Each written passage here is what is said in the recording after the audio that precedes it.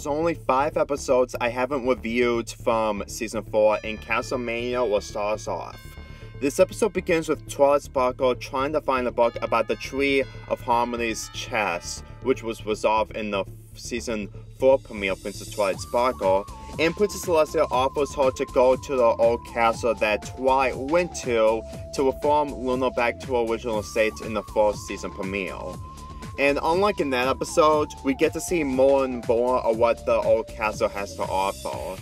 And instead of trying to find the book to figure out the situation, Twilight Sparkle is easily distracted with tons and tons of books. While Spike, well, let's just say that we're on his side since that he's completely scared that this, that this castle might be haunted.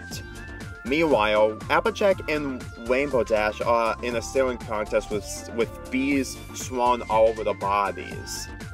And the fact that there was no contest whatsoever, Pinkie Pie offers them to be the bravest boy by going through one of the most scariest things ever in Equestria. Well, other than uh, the Nightmare Night, but that's a Halloween tradition.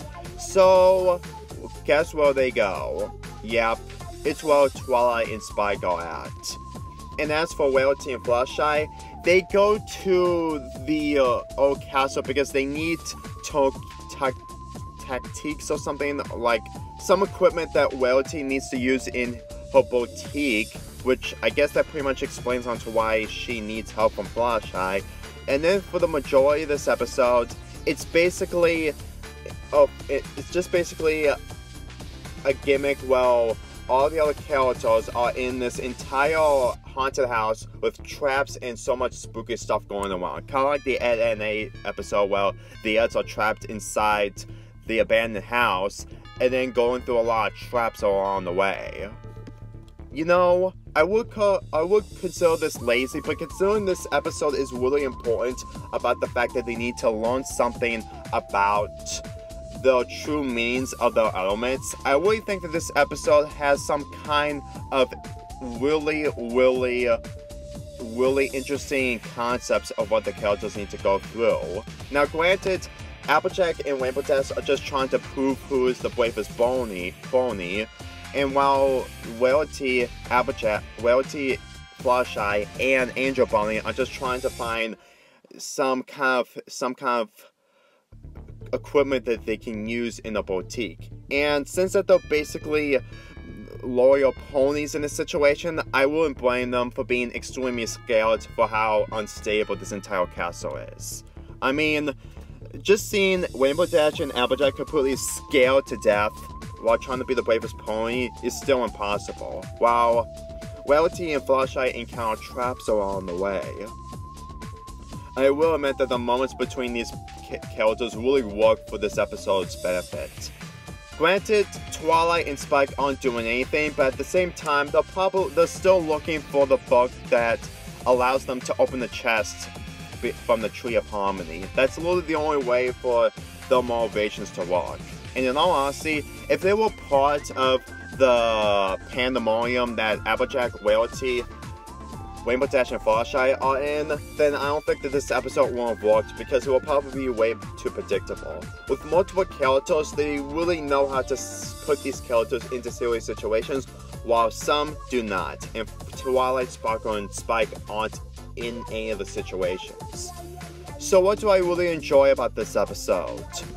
There's a there's a hoof hoo hole that well, that Rarity completely touched Rainbow which actually scaled them, which actually really works because the, it really goes to show that how unpredictable this entire castle is. Since this is the second time that they went to this castle, while the last one was this was in the season one premiere of the show. And you know, it's really hilarious to see the situations and antics that these characters are getting themselves into, just so that who could be the bravest pony and just trying to find the equipment for the boutique. But if there's only one thing that really makes this episode a little more distracting is the fact that it kind of, you know, tries a little too hard to have this episode be 22 minutes long. In my opinion, I think this is the type of gimmick that this episode could have been 11 minutes shorter if not all the characters are part of this. But then again, they will probably have to squish in some of those ideas into Twilight's plot. I think that this episode being 22 minutes is probably forced because they probably need to figure out a way to extend this episode longer while also trying to figure out some other way to have some characters be into situations and not. I know it's something that I just cannot stand, but at the same time, I really think that episodes like this, the more I think about it, I really think that some of the plots in this are nothing but filler, but I can easily accept them since that it's since that Twilight's friends are in are in these situations. So, uh, what can I say about Twilight Sparkle in this episode? Before I have thoughts about reviewing this episode during the Halloween months, which was 2017, I really think that looking at her in this situation, it didn't really satisfy me whatsoever. But that was during the time that I didn't have a lot to do with when it comes to reviewing My Little Pony episodes if you can tell in my All About Little Pony Marathon 2 when I showed you my videos I did from past months in last marathon.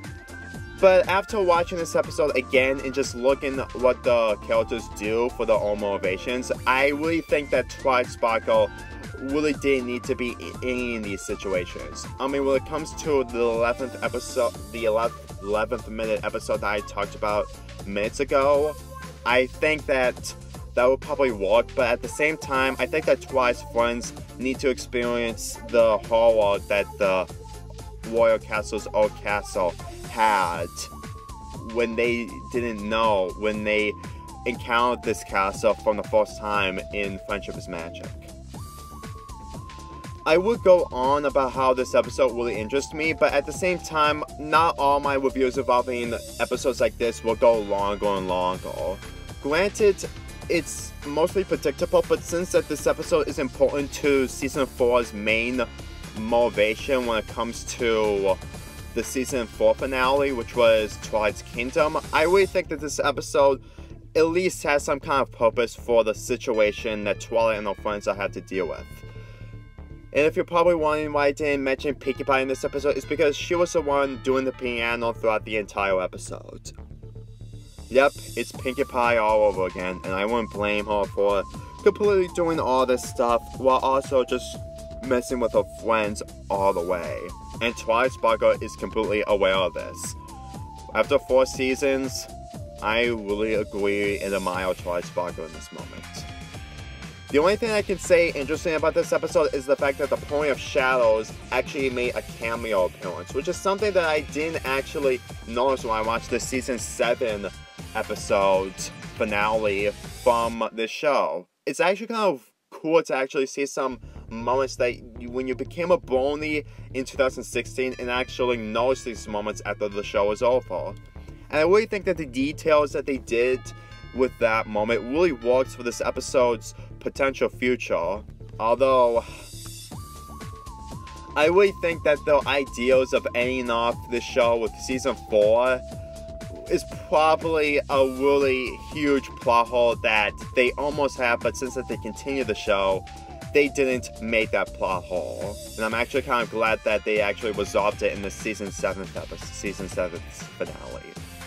So that was Castle Mane-ia. I wouldn't say this is one of my favorite episodes, but at the same time, it's still important for what the motivations of the main six had to do in order to figure out what is inside the chest and how to open it with the materials that they need.